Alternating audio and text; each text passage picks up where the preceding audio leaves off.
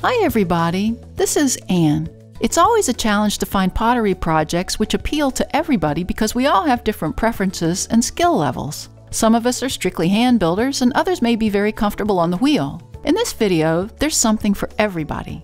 I have a project with several variations that'll appeal to the hand builders, and it'll also have aspects of wheel throwing that even the beginner can master. We're going to be making bread plates. First things first, we'll be offsetting the clay for these projects, so you'll need a bigger bat than usual. The bat will probably need to be at least 12 inches or larger in diameter. The first step is to roll out a half inch slab and place it on a piece of plastic wrap to avoid sticking. I usually do slab work on the work table, but to avoid jumping back and forth to the wheel, I'll just demonstrate everything on the bat. This plate will be rectangular, so I found this piece of plywood that I could use as my template and cut it with an X-Acto knife.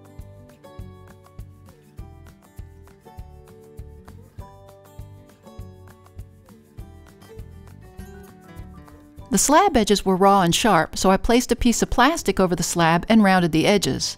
The plastic tightens over the surface and will give the slab a bit of a beveled look. I want to create a round recessed area at the top of the slab. I used my wet finger to find the center of the bat. I also found the center on the slab where the recess will be and laid the slab over that center point. When I turned the wheel, I checked to make sure my slab was centered correctly. I wet my fingers and made sure the slab was stuck down to the bat along the edges. To create this recess, I simply began to push down at the center point about a quarter inch deep. I then widened it out. The displaced clay will begin to form a wall around that divot.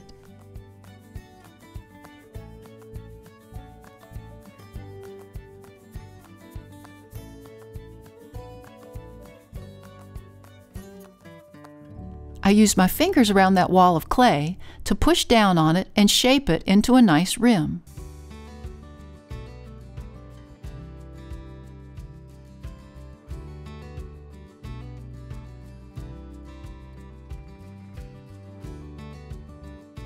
Once I got the rim nice and even, I flattened the clay inside the recess.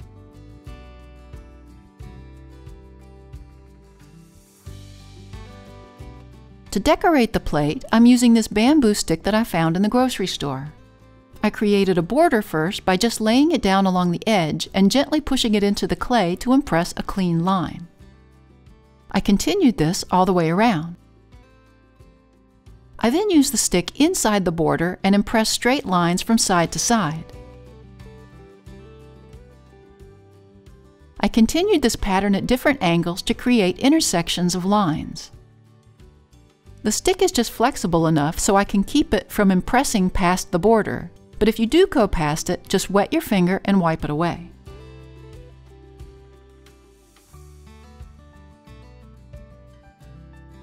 When you're happy with the design, you want to dry it flat and slowly. I move the piece to a clean bat. I placed some paper down over the plate to raise its height to the top of the rim, then I placed a clean bat over the plate. Here's a plate I made earlier with the same design that's already dried to leather hard. I thought it'd be fun to add some detail to the impressed lines by doing some carving. I just carved parallel lines at different angles into each intersected area to get this cool textured look.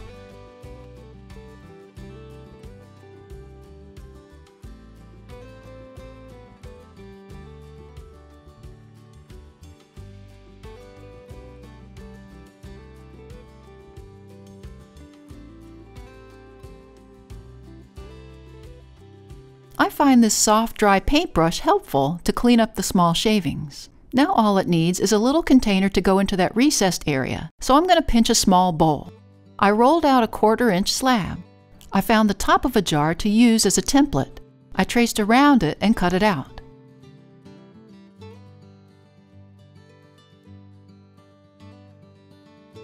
I rounded the edges like I did before. I began using my thumbs to stretch the center of the slab outward towards the edge.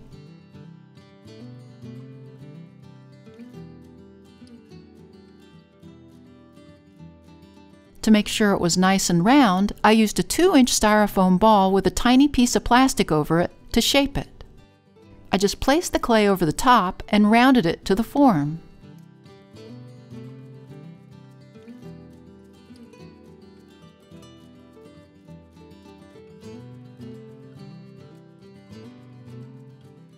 You can see that the bottom is still round and the edges are raw.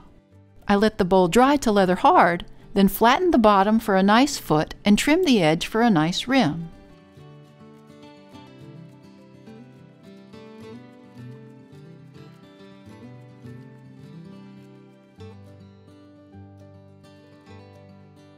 I just put a nice celadon glaze over the top. The celadons really break nicely over that texture. Now I can put some olive oil or some melted butter in the bowl and dip my bread into it.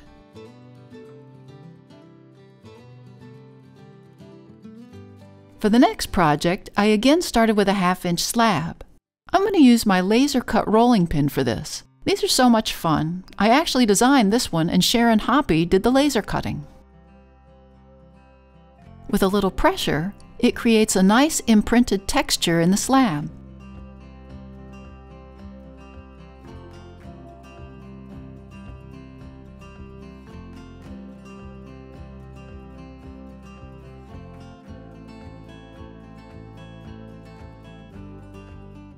Plate will be an oval shape. I found this casserole dish in the dollar store. I placed it over the slab and impressed the edges.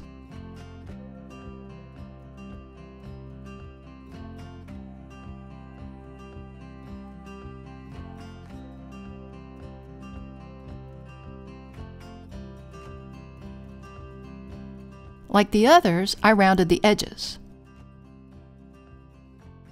Again, I found the center of the bat and the center of where my recess will be on the slab and placed them over each other.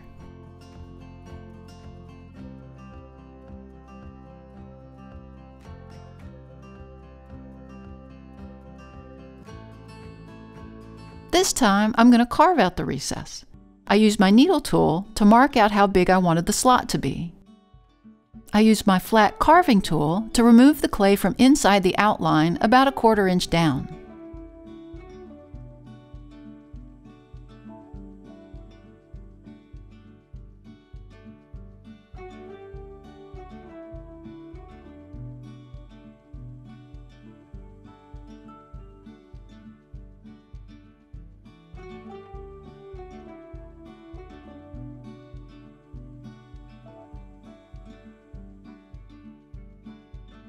To get rid of any jagged edges, I pushed the clay bits to the inside and cut them off. I also added a swirl.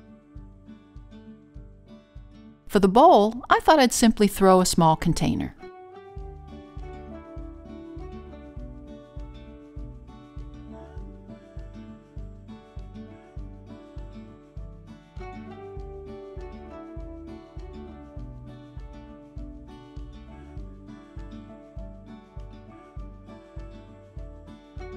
There it is. I like that.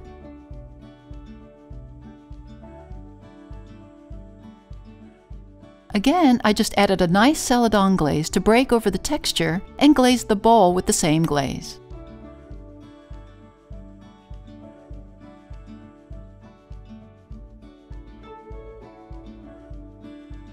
Here's one more version. Again, I started with a half inch slab and placed a piece of plastic wrap over the top. I impress the cap of a Gatorade bottle into the clay by rows. The plastic keeps the cap from going in too far into the clay.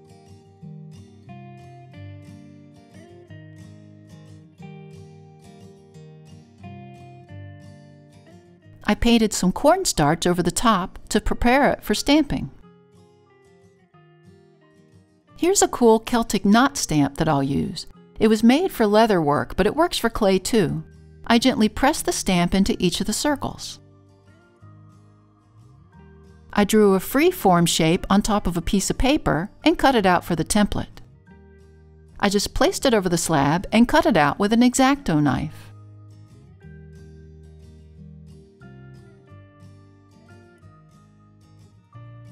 This time, I decided to make a raised slot for my bowl. I rolled out a quarter inch slab and cut out a thin circle the size of the slot that I wanted and just wired it off.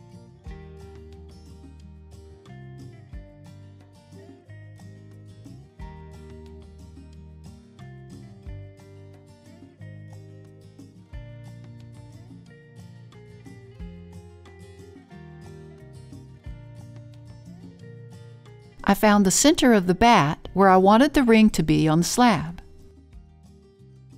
I centered the clay ring on top and pressed it down on top of the slab. Once it was stuck down, I just rounded the edges.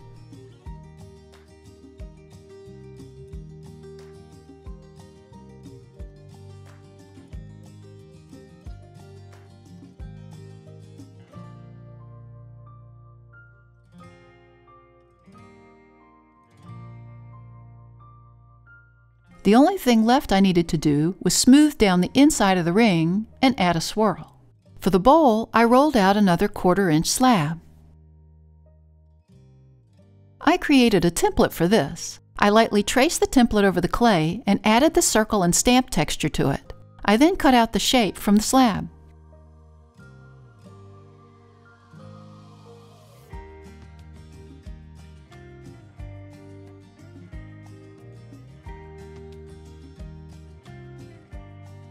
I beveled the edge of the first side. I turned over the slab and beveled the other side. I scored and slipped the edges, then attached the sides together.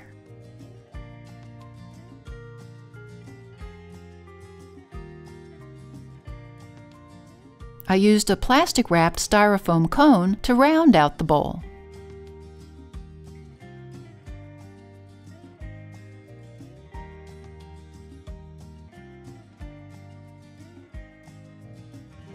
I wanted to bring in the bottom edge a bit, so I attached the rim of the bowl to the bat with water and pressure. I used my finger to push the bottom edge inward.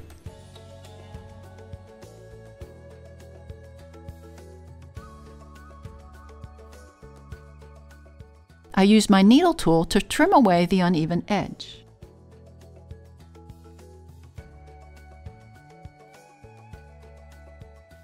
Then I wired the bowl off the bat. I rolled another quarter inch slab and attached it to the wheel. I used my finger to find the center ring and place the cup centered down over the slab. I used a needle tool to trace around this. I picked up the cup and scored and slipped the bottom. I then attached the body to the foot.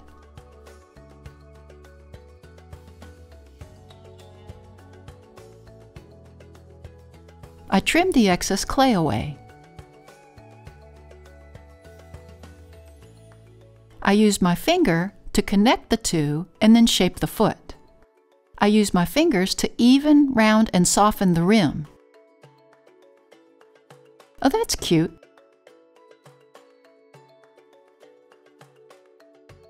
There, that fits well. Again, I just needed a glaze to highlight the texture. It would be nice to put an Irish potato bread on this, maybe with some honey. Mmm. These are but three variations on this theme. There are limitless possibilities of shapes, textures, and sizes that you can utilize. I'd love to hear your ideas in the comments section below. Thanks to the newest members of our Little Street Pottery Research Facility team. If you'd like to join the team and earn a title, click on the Super Thanks button or the link to buy me a coffee. It also really helps us out if you hit that like button and subscribe to our channel. See you next time in the studio.